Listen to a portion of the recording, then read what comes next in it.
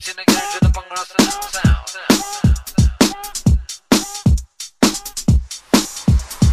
ਪਿਛੜੇ ਯਾਰ ਸਬੱਬੀ ਮਿਲਦੇ। ਖੁੱਲ ਜਾਂਦੇ ਦਰਵਾਜ਼ੇ ਦਿਲ ਦੇ। ਪਿਛੜੇ ਯਾਰ ਸਬੱਬੀ ਮਿਲਦੇ। ਖੁੱਲ ਜਾਂਦੇ ਦਰਵਾਜ਼ੇ ਦਿਲ ਦੇ। ਪਿਛੜੇ ਯਾਰ ਸਬੱਬੀ ਮਿਲਦੇ। ਖੁੱਲ ਜਾਂਦੇ ਦਰਵਾਜ਼ੇ ਦਿਲ ਦੇ। ਫੇਰ ਖੁਸ਼ੀ ਨਹੀਂ ਫੇਰ ਖੁਸ਼ੀ ਨਹੀਂ ਫੇਰ ਖੁਸ਼ੀ ਨਹੀਂ